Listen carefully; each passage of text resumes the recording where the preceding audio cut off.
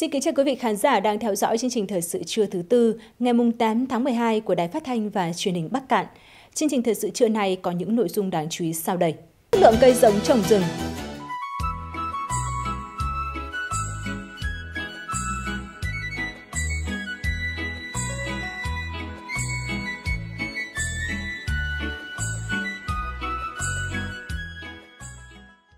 Thưa quý vị khán giả, sáng nay kỳ họp thứ 6 Hội đồng Nhân dân tỉnh khóa 10 tiến hành phiên chất vấn và trả lời chất vấn đối với Chủ tịch ủy ban nhân dân tỉnh và lãnh đạo một số sở ngành của tỉnh. Trong sáng nay, kỳ họp nghe báo cáo kết quả giám sát của Thường trực Hội đồng Nhân dân tỉnh về kết quả giải quyết ý kiến, kiến nghị của cử tri gửi đến trước và sau kỳ họp thứ 3 Hội đồng Nhân dân tỉnh khóa 10. Một số ý kiến kiến nghị từ kỳ họp thứ 18 Hội đồng Nhân dân tỉnh khóa 9 trở về trước và các ý kiến trong cuộc bầu cử đại biểu Hội đồng Nhân dân tỉnh khóa 10, nhiệm kỳ 2021-2026. Báo cáo tổng hợp kết quả trả lời các ý kiến kiến nghị của cử tri trước kỳ họp thứ 6 Hội đồng Nhân dân tỉnh khóa 10. Sau khi nghe các báo cáo, kỳ họp tiến hành phiên chất vấn và trả lời chất vấn đối với Giám đốc Sở Y tế, Giám đốc Sở Tài nguyên và Môi trường, Giám đốc Sở Kế hoạch và Đầu tư và đồng chí Chủ tịch Ủy ban nhân dân tỉnh. Sau phiên chất vấn, kỳ họp thứ 6 sẽ tiến hành bế mạc. Nội dung phiên chất vấn bế mạc được tường thuật trực tiếp trên sóng Đài Phát thanh và Truyền hình Bắc Cạn. Thưa quý vị, hiện nay trên địa bàn huyện Trợ Đồn đang có 4 dự án được hỗ trợ chính sách khuyến khích phát triển hợp tác, liên kết sản xuất và tiêu thụ sản phẩm theo nghị quyết số 08 ngày 17 tháng 7 năm 2019 của Hội đồng Nhân dân tỉnh.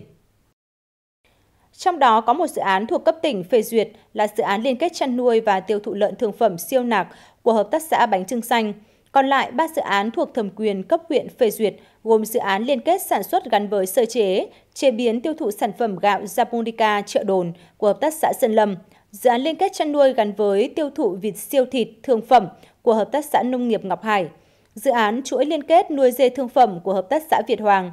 Các dự án được hỗ trợ dưới phương thức sau đầu tư. Có nghĩa đơn vị phải ứng vốn trước để tổ chức thực hiện, huyện thẩm định và giải ngân vốn khi dự án nghiệm thu đạt kết quả tốt. Theo lãnh đạo Phòng Nông nghiệp và Phát triển Nông thôn huyện Trợ Đồn, các dự án triển khai khá hiệu quả. Các hợp tác xã được hỗ trợ đều tuân thủ đầy đủ quy trình trong đầu tư sản xuất, có tổ chức liên kết, sản phẩm bán ra được thị trường đón nhận. Nhằm từng bước nâng cao hiệu quả cây trồng vụ đông xuân, vừa qua Hợp tác xã Dịch vụ Tổng hợp xã Bành Trạch, huyện Bà Bể đã triển khai thử nghiệm mô hình trồng cà rốt trên đất ruộng. Theo đó, mô hình được triển khai trên diện tích hơn 1 hecta, quy trình sản xuất cà rốt sạch, không sử dụng thuốc bảo vệ thực vật, thuốc diệt cỏ. Thời gian trồng đến khi thu hoạch là 3 tháng. Nếu được chăm sóc tốt, đúng quy trình kỹ thuật, bình quân 1 hecta trồng cà rốt sẽ cho thu hoạch từ 30 đến 35 tấn củ, với giá bán từ 8 đến 10.000 đồng 1 kg củ, sẽ đem lại nguồn thu nhập khá cao cho người dân. Việc liên kết bao tiêu sản phẩm của hợp tác xã, mô hình trồng cà rốt trên đất ruộng là hướng đi mới phù hợp. Với đặc tính ưa đất cát, ít sâu bệnh, hiệu quả kinh tế cao hơn hẳn so với một số loại cây trồng khác như ngô, lúa. Cây cà rốt được kỳ vọng sẽ mở ra hướng đi mới, phát triển kinh tế ở địa phương. Là một trong những xã đầu tiên về đích nông thôn mới của huyện Trợ Đồn, hiện nay xã Nghĩa Tá đang nỗ lực duy trì và nâng cao các tiêu chí nông thôn mới đã đạt được để từng bước xây dựng nông thôn mới nâng cao. Hiện nay bên cạnh việc giữ vững các tiêu chí nông thôn mới đã đạt, xã Nghĩa Tá, huyện Trợ Đồn đang nỗ lực thực hiện xây dựng các tiêu chí nâng cao theo bộ tiêu chí của Ủy ban Nhân dân tỉnh. Tính đến thời điểm này, xã Nghĩa Tá đã hoàn thành 7 trên 17 tiêu chí nông thôn mới nâng cao, đó là trường học, thông tin và truyền thông, giáo dục và đào tạo, y tế, văn hóa, hệ thống chính trị và tiếp cận pháp luật, quốc phòng và an ninh. Theo ông Hoàng Xuân Trường, Chủ tịch Ủy ban Nhân dân xã, trong số những tiêu chí chưa đạt được còn một số tiêu chí khó thực hiện, đó là tiêu chí hạ tầng kinh tế xã hội và tiêu chí văn hóa xã hội, môi trường, kinh tế tổ chức sản xuất. Để đạt được mục tiêu đề ra, xã đã xây dựng phương án nâng cao các tiêu chí, đăng ký lộ trình đạt chuẩn nông thôn mới nâng cao cụ thể. Tập trung vào một số cái cái cái tiêu chí khó khăn ở trong năm à, 2022 và các năm tiếp theo. Đặc biệt để khi mà cái nguồn lực uh, các công trình mà của xã à, đăng ký giai đoạn thì khi mà có kinh phí thì xã sẽ tập trung chỉ đạo nhân dân ờ, thực hiện còn à, đối với ờ, tiêu chí văn hóa thì ờ, xã cũng quy hoạch hai cái thôn, hai cái khu là khu để tới đây thực hiện cái khu sân thể thao của xã. Khi mà có nguồn lực thì được phê duyệt của huyện thì xã sẽ tập trung thực hiện nội dung này. Xây dựng nông thôn mới nâng cao vẫn dựa trên nền tảng là các tiêu chí nông thôn mới theo Bộ Tiêu chí Quốc gia xây dựng nông thôn mới, nhưng chia thành 5 nhóm tiêu chí gồm quy hoạch, hạ tầng kinh tế xã hội, kinh tế và tổ chức sản xuất, văn hóa xã hội, môi trường, hệ thống chính trị. Các chỉ tiêu đặt ra cao hơn khá nhiều so với Bộ Tiêu chí nông thôn mới đang áp dụng. Xã Nghĩa Tá tiếp tục quan tâm đề ra các giải pháp thực hiện giảm nghèo, tận dụng mọi nguồn lực xây dựng giao thông, thủy lợi.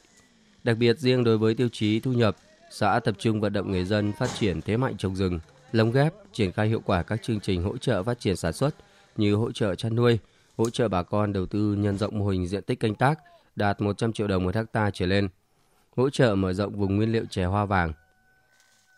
Tôi đang mong là phát triển cái cây chè này thì tôi hiện nay tôi đề nghị cái cái đất để trồng chè.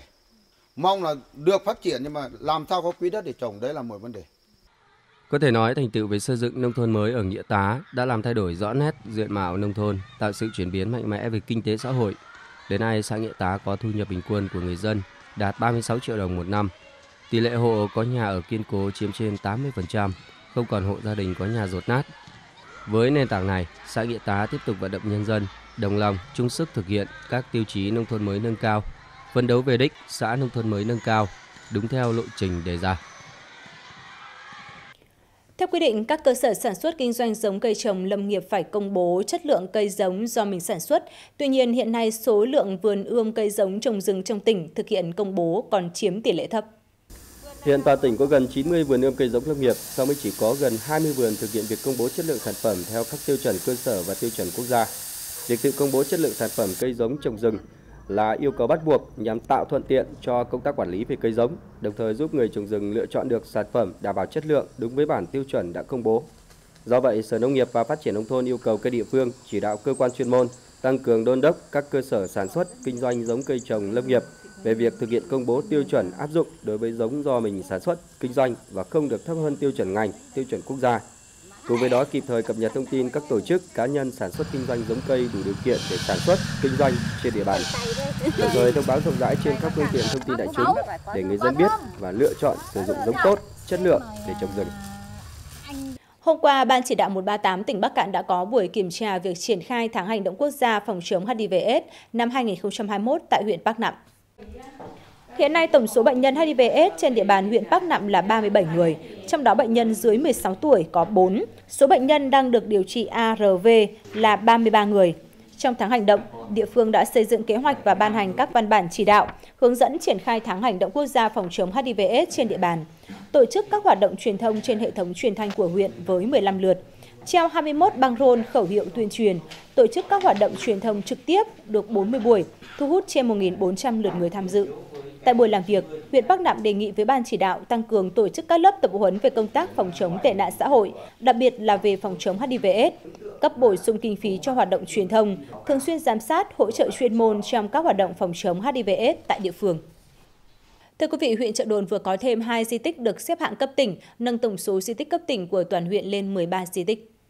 Hai di tích mới được xếp hạng cấp tỉnh gồm di tích lịch sử Phe Khao, địa điểm nhà nghiên cứu kỹ thuật quân giới đóng và làm việc từ tháng 6 năm 1947 đến tháng 6 năm 1948 tại thôn Phe Khao, xã Bản Thi, huyện Trợ Đồn và di tích lịch sử Tre Ngù, địa điểm cơ quan báo cứu quốc đóng và làm việc từ cuối năm 1946 đến năm 1947 tại thôn Tre Ngù, xã Yên Thượng, huyện Trợ Đồn.